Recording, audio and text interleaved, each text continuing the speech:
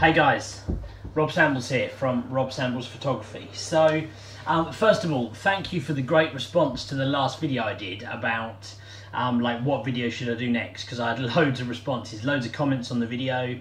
Um, I also had some emails, stuff through my site, some stuff on Instagram, which was really cool. So, so thank you guys for doing that. It's um, that that was cool. So one of the biggest things that a lot of people seem to talk about and want to know about is uh, how to do sports photography on a budget, or can you do sports photography on a budget? And there's lots of other people out there who talk about this. There's videos. There's people who say you can do this, you can do that. But the biggest thing for me is is yeah, like of course you can, of course you can.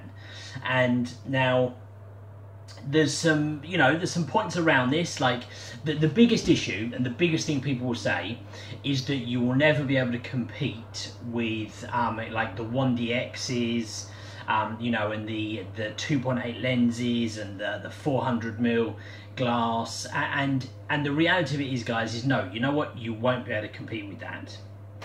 But the question you've got to ask yourselves and the question I asked myself when I first got into doing sports photography is do I need that? Like, am I shooting top level professional sports?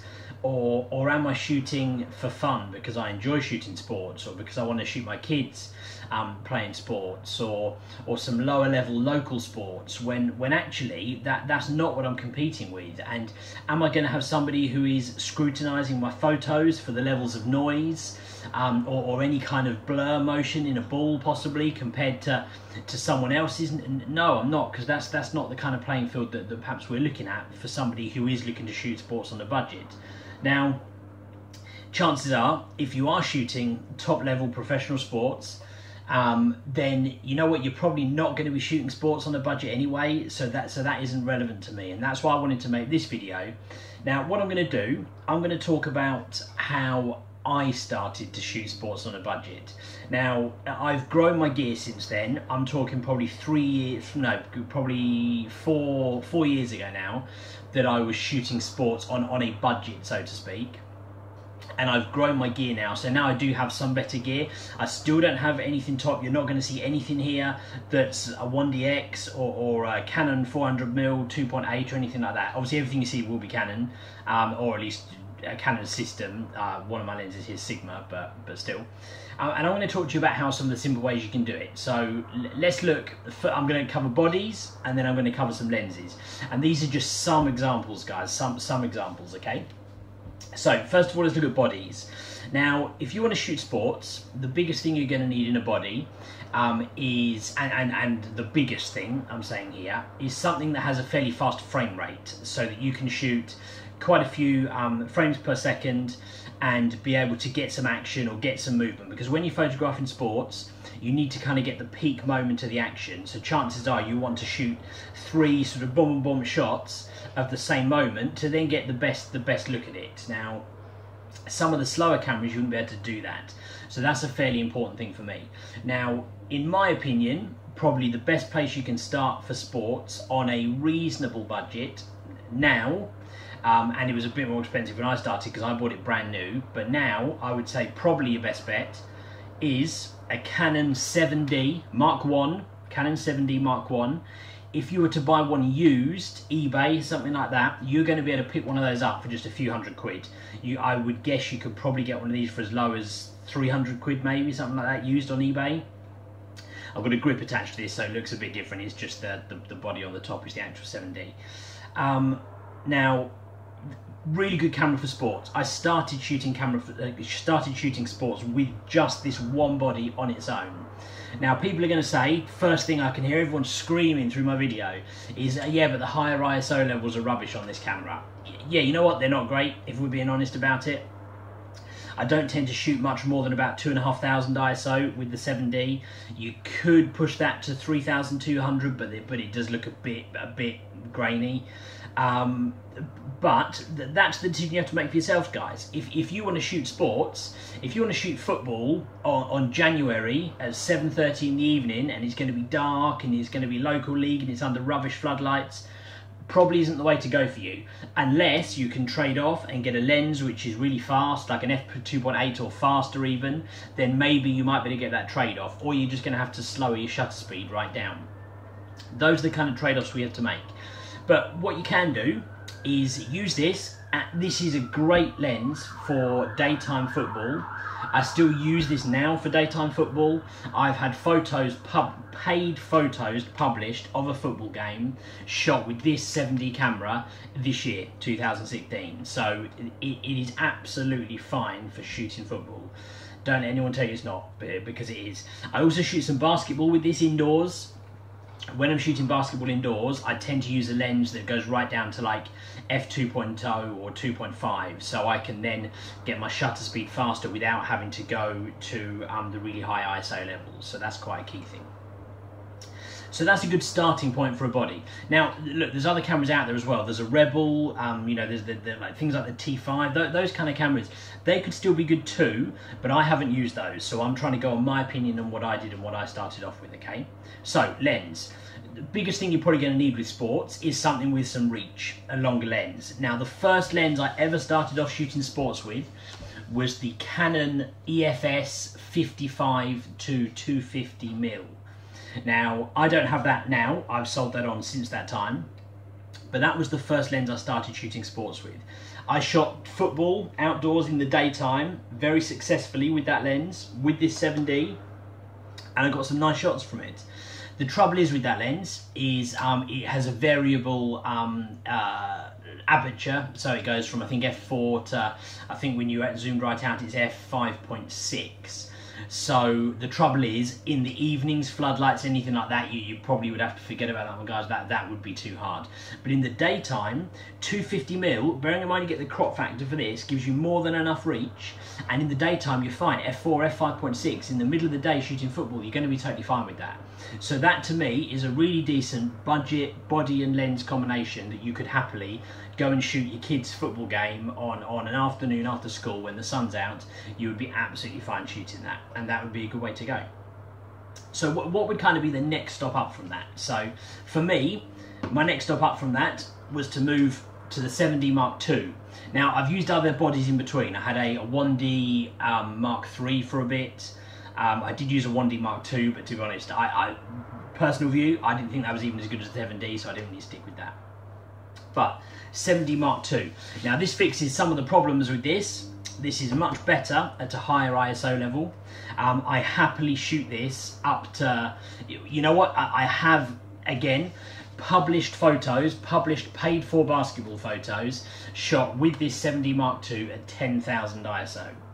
Um, did they look great? Were they 100% sharp and no grain whatsoever? No, but I still got some decent shots with it. The beauty of this is even a faster frame rate than this. Um, I'll be honest with you guys, off the top of my head, I don't know what they are. I think this one might be like six or seven frames per second, whereas this one I think is nine. So um, it's you know it's this one. This one is quick. Um, so fast. Uh, ISO levels decent with this one. Is it as good as a 1DX? No, but it's but it's good in in my opinion anyway. The other thing I didn't say about both these guys is these cameras, both of these, in my opinion, have great autofocus systems. I love the autofocus system in the uh, the Mark II. The autofocus system in the in the 7D was actually it actually great as well. I always shoot in um, AI Servo mode, and I always use back button focus, and and I've I've had some great results with that. Really haven't struggled with focus at all with the 7D, and same with the 7D Mark II. So both really good bodies. Now this one's more. We said that was a few quid. I think if you bought one of these used, you could probably get this for under a thousand pounds. I think to buy one new, you probably would be looking at like I don't know somewhere between probably a thousand pounds, twelve hundred maybe something like that new. It depends where you buy it from as well. Look, if you guys want to, you know, if you guys want to look at grey market stuff, Hong Kong, things like that, you know what you get, you get it cheaper. Um, but then sometimes there's issues with warranties and stuff like that. So I won't give advice on that. That bit's up to you guys but um, 7D Mark II is a great step up. And we're still talking what like a third of the price of a 1DX with, with the 7D Mark II okay. So um, what would a step up be in a lens? So my first um, step up with a lens, something which I actually bought fairly quick early on, so probably about three years ago now, was the Sigma 100 to 300 f4. I loved that lens. I shot quite happily loads and loads of football with that. I, I shot football under floodlights with that lens um, with the 7D Mark II. The trouble was with that, with f4, um, so I had to sacrifice some shutter speed. So I had to drop my shutter speed down to kind of 500th of a second, something like that, which does sacrifice um, some of you being able to freeze the motion. And if someone is full on just kicked a football, that ball might be slightly blurred at 500th of a second, or or the foot might be, and, and that's um, a bit of a trade-off that you that you have to that you have to look at. That was a great lens there guys, the Sigma 100 to 300 f4 for Canon. So what was my next step up from that lens? A lens which I've got right here and I still use right now. This is the Sigma 120 300 f2.8. Now the downside with this, I actually don't think that the focus on this, the autofocus, is as good as the Sigma 100 300 f4. I don't think it's as good. It's still decent, like I don't struggle to use it and at, at all, I mean at all but it's not as good. The advantage of this, the big advantage, is this is an f2.8 lens, so I can quite happily shoot under floodlights. Um, I can shoot on dull days. I could shoot indoors, basketball. Um, so uh, that that is the next step up. What would my next step up from this be? Depends what sports you're going to shoot, guys. One option would be to go for like um, uh, a Canon 70-200, something like that the f2.8 the f2.8 mark ii um, is lens is like really really good. I don't own one i've used one a few times. Uh, but but that said the um, the 70-200 f2.8 the first model the mark one that that's a good lens still. Is it as good as the latest model? No of course it's not but but it's still a good lens so don't let people tell you it's not great just because it's older. You could buy a, um, a Canon L lens 70 to 200 f2.8 I would imagine for probably 600 quid, 700 quid maybe.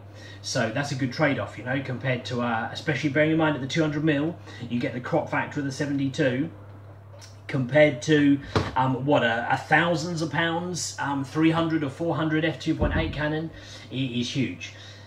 Again, there are the 70 to 200 f4s, Canon lenses out there, but um, I, from that trade-off with the f4 to the f2.8, because I shoot a lot of basketball, I, I needed the f2.8, which is why I've got this Sigma right here.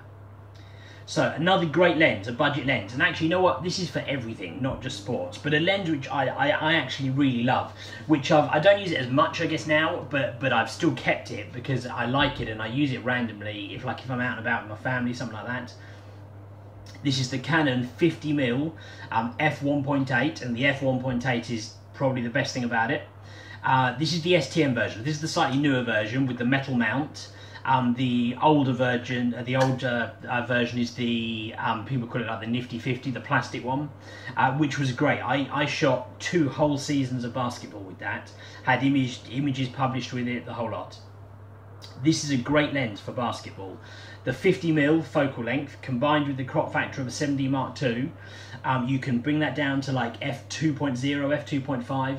You can get some great, great clean basketball shots. I still will use that combination now at, at a paid professional basketball job, the 7D Mark II with the 50mm STM. That combination, some great, great basketball shots. They're a really good combination. So, um, obviously we're stepping up in price a little bit here. I, di I didn't say this one. I think you can probably get this for like 150 quid, maybe less than that, probably. Um, this lens here, I bought this used for I think 800 pounds. You can probably buy it used for um, less than that now.